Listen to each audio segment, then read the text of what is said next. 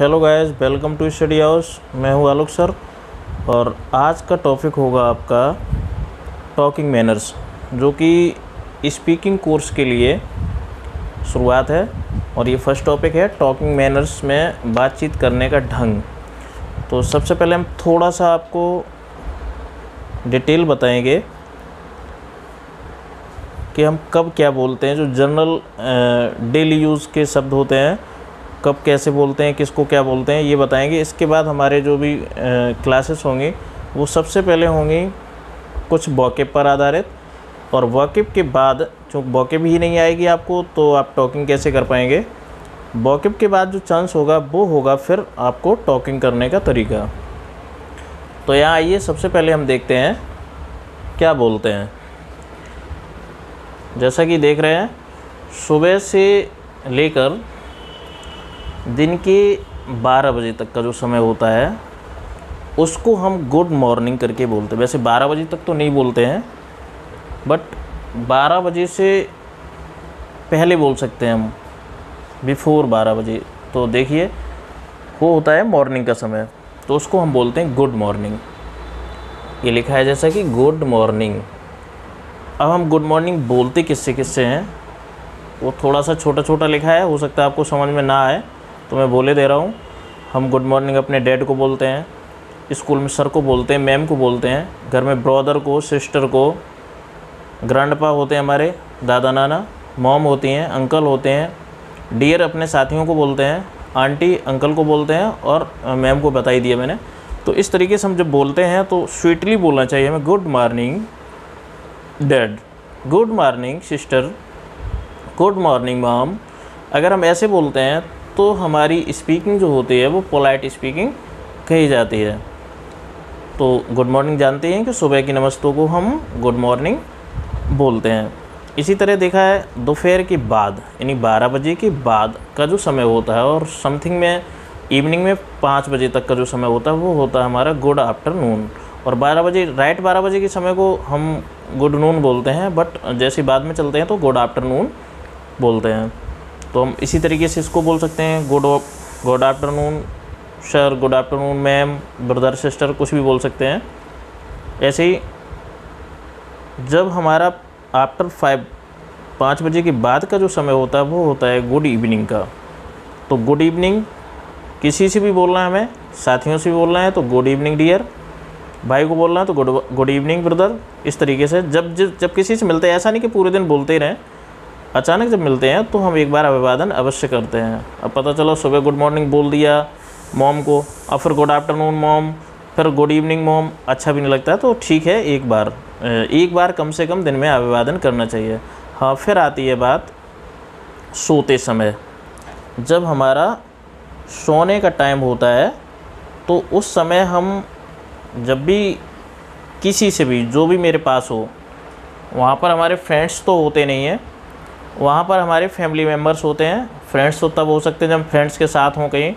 तो family members ही mostly होते हैं तो हम गुड नाइट बोलते हैं। और वो तभी बोलेंगे, ऐसा अचानक नहीं बोला जाता, वो भी गुड नाइट हम तब बोलेंगे, जब हमारा सोते समय का टाइम हो। तो गुड नाइट बोलते हैं। Good night mom good night dad good night brother good night sister good night हमारे मामा को मैटरनल अंकल बोलते हैं तो गुड नाइट मैटरनल अंकल इस तरीके से हम यूज़ करते हैं। अब बात आती है, ये तो हो गया था कि हम good morning, good afternoon, good evening और गुड नाइट का। फिर अब हमें अगर टाइम का ख्याल नहीं रहता, मेरे पास वॉच नहीं है, टाइम मेरे पास नहीं है तो हम दिन में किसी भी समय किसी को भी गुड डे बोल सकते हैं, good day to you. Parting time पे, पार्टिंग का मतलब होता है चलते समय जब हम चलते हैं तो बोल सकते हैं, गुड डे टू यू अब वो सर हों, मैम हों, जो भी हो सकता है तो हम बोलेंगे गुड डे टू यू इसके बाद आता है अपने दोस्तों के साथ जो भी होते हैं तो वो, उनको हम हेलो करके बोलते हैं। हाय या हेलो जब भी हम मिलते हैं तो उनको बोलते हैं हेलो या हाय तो देखिए, यहाँ दिया गया हाय या हेलो आगे किसी का भी नाम या कोई भी अंकल वगैरह, जब भी हम मिलते हैं, किसी hi uncle how are you आप कैसे हैं? तो हाय या हेलो अंकल इस प्रकार से हम यूज़ करते हैं। Hello friends hello ma'am hello sir कुछ भी कर सकते हैं यूज़ तो हम कह सकते हैं, ये वैसे मैम और सर के लिए नहीं मोस्टली ये अपने साथियों के लिए और फैमिली मेंबर्स के लिए यूज़ किया जाता है। रिलेटिव्स के लिए यूज़ किया जाता है। फिर आता है, जब कभी किसी से, जब हम लोग अलग होते हैं मीन्स चलने का टाइम होता है तो वहाँ पर यूज़ करते हैं गुड बाय और गुड बाय मीन्स होता है अच्छा चलते हैं। तो रिस्पॉन्स मिलेगा। आप किसी से, अगर आपसे कोई बोलता है गुड बाय तो आप गुड बाय को गुड बाय नहीं बोलेंगे, क्योंकि आप थोड़ी चलते हैं, आप तो वहीं रहते हैं तो आप उसका जवाब देंगे बाय बाय से।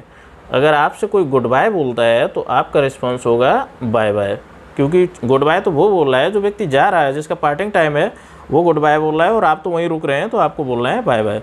अच्छा इसके बाद फिर ये भी बोला जाता है वाइस यू अब ये कौन बोलेगा बाइस यू जो जा रहा है, वही बोलेगा। बाइस यू का मतलब होता है अच्छा फिर मिलेंगे। चलते टाइम पे होता है, यार, आना ज़रूर। हम लोग बोलते हैं, आना ज़रूर। फिर आना कभी। तो वो चलते समय बोलते हैं जो भी चल, जाने वाला होता है, वो बोलेगा वाई श्यू अच्छा फिर मिलेंगे। अब कुछ मेमोरेबल चीज़ें हैं, ज़रा इनको भी समझ लीजिएगा। जैसे ग्रांड फादर तो ग्रांड फादर को देख लीजिएगा। ग्रांड फादर हैं हमारे तो ग्रांड फादर को हम बोलते क्या हैं? शॉर्ट में, स्पीकिंग इंग्लिश में ग्रांड फादर को ग्रांड पा बोलते हैं। ग्रांड पा इसी तरीके ग्रांड पा क्यों बोला जाता है? क्योंकि वो हमारे पेरेंट्स होते हैं ग्रांड पेरेंट्स के पेरेंट्स होते हैं, इसलिए उनको हम ग्रांड पेरेंट्स कहते हैं, या कह सकते हैं फादर के ग्रांड होते हैं, इसलिए वो ग्रांड फादर कहलाते हैं। तो इसी तरीके से अब ये होते कौन हैं? ग्रांड फादर या ग्रांड पा ये हमारे दादाजी हो सकते हैं और नाना जी हो सकते हैं। ऐसी ग्रांड माँ होती हैं तो वो दादी जी हो सकती हैं और नानी जी हो सकती हैं। तो यहाँ दिया गया है ग्रांड फादर और ग्रैंड मदर को क्या बोलते हैं? ऐसे फादर को क्या बोलते हैं? तो फादर को मोस्टली वैसे तो फादर फादर मीन्स पिताजी होता है बट हमारी स्पीकिंग इंग्लिश में हम उसको फादर को डैड भी कहते हैं और डैडी भी कहते हैं।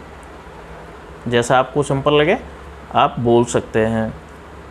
फिर आता है अंकल किसको बोला जाता है? समझ लीजिएगा, अंकल सिंपल सा शब्द है और हमने सिर्फ़ इतना ही सीखा कि अंकल मीस चाचा। नो अंकल मीस सिर्फ़ चाचा नहीं होता है। अंकल मीस होता है हमारा चाचा भी होते हैं, हमारे ताऊ, ताया मीस ताऊ होते हैं, अंकल मामा को भी बोलते हैं, अंकल मौसा जी को भी बोलते हैं और अंकल फूफा जी को भी बोलते हैं। दूसरा सिंपल ये है कि अगर हमारा किसी से कोई रिलेशन नहीं है और वो हमसे उम्र में कुछ ज़्यादा ही लग रहे हैं तो उनको हम अंकल यूज़ कर सकते हैं। इसी तरीके से आती है आंटी। और आंटी की स्पेलिंग जो देखी होगी आपने, कई एक प्रकार से लिखी जाती है। ए यू एन टी भी होती है A U N T Y भी होती है और A U N T I E भी होती है। तो ये आंटी हुआ जाएगा तो आंटी किसको बोलते हैं? जैसे अंकल को अलग अलग प्रकार से बोला जाता है, उसी प्रकार से आंटी वर्ड है। फ़र्स्ट तो हम आंटी अपनी चाची जी को ही बोलते हैं। इसके बाद हमारी ताई जी भी हैं, उनको भी आंटी बोल सकते हैं। बोल सकते क्या? बोलते ही हैं। मामी को अच्छा मामा मामी के लिए फिर से समझ लीजिए, एक बार मैटरनल अंकल और मैटरनल आंटी शब्द यूज़ किया जाता है। तो हम काम चला लेंगे आंटी से भी। मौसा सॉरी मौसी और बुआ को भी हम आंटी ही बोलते हैं। मौसी को आप जानते होंगे, मौसी मीन्स मदर से सिस्टर माँ की बहन को मौसी कहते हैं और फादर से सिस्टर को हम बुआ बोलते हैं। बट इन सबको हम क्या कहेंगे? आंटी इसके बाद आता है आपका कज़िन तो कजिन मीस क्या होता है? अब कजिन मीस तो सिर्फ़ चचेरे सुना होगा। जैसे चाचा का लड़का है, कहीं हम इंट्रोड्यूस करा रहे हैं तो उसको बोलेंगे कज़न सिस्टर होगी तो भी बोलेंगे कज़न तो कज़न मीस चाहे वो चाचा के बच्चे हों, चाहे मामा के बच्चे हों, चाहे मौसा जी के बच्चे हों, चाहे फूफा जी के बच्चे हों, उनको हम कज़न बोलते हैं। और कज़न जो होते हैं आइदर ब्रदर और सिस्टर चाहे वो भाई हो या बहन तो उनको हम कज़न ही यूज़ करते हैं। तो कज़न शब्द को बहुत अच्छे से समझने की ज़रूरत है कि कज़न मीस होते हैं चचेरे, ममेरे, मौसेरे, फुफेरे। ये हमारे कज़न कहलाते हैं। तो इस प्रकार से आज आपका ये शॉर्ट थोड़ा सा समझने की ज़रूरत है। तो सबसे पहले हमें अभिवादन के शब्दों को समझने की बहुत आवश्यकता है। और वो अभिवादन के शब्द जो कि मैंने आपको स्टार्टिंग में ही बता दिए हैं, वो हमारे इस प्रकार से हैं कि टॉकिंग मैनर्स जो हमने बताया कि कब हम गुड मॉर्निंग बोलते हैं, कब हम गुड आफ्टरनून बोलते हैं, कब हम गुड इवनिंग बोलते हैं और कब गुड नाइट बोलते हैं और गुड डे का प्रयोग हम कहाँ करते हैं। तो जैसा कि जो भी बताया आप कम से कम क्लास को अच्छे से समझने के लिए वीडियो को एक बार, दो बार, तीन बार देखिएगा और देख के समझिएगा। इसके बाद ही आपको समझ में आएगा कि हम कब क्या बोलते हैं और कैसे बोला जाता है। मैं समझता हूँ इंग्लिश में बोलना हिंदी की अपेक्षाकृत काफ़ी सरल है। जैसे कि हिंदी में अगर हम किसी को तू शब्द कह देते हैं तो ख़राब लग जाता है। और इसी तरीके से तुम भी अच्छा नहीं लगता है। हिंदी में जब हम बहुत ही क्रिटिकल सिचुएशन यूज़ करते हैं और बहुत अच्छा बोलने की कोशिश करते हैं तो हम किसी को कहते हैं आप। बट इंग्लिश में ऐसा कुछ नहीं चाहे किसी को तू कहो, चाहे तुम कहो, चाहे कुछ कहो, इससे कोई संबंध नहीं है। हमारा संबंध है इंग्लिश में यू वहाँ पर तुम तुम कुछ नहीं चलता है, वहाँ सिर्फ़ होता है you so that's class is over next जो इसकी क्लास होगी, वो हमारी बॉकेप क्लास होगी, जिसमें आपको रिलेशंस हैं बॉडीज़ नेम हैं, अन्य फैमिलीज़ हैं तो ये सब चीज़ें आपको बॉकेप के साथ धीरे धीरे तैयार कराएँगे, इसके बाद आपको बोलना सिखाया जाएगा. So don't miss to next class continue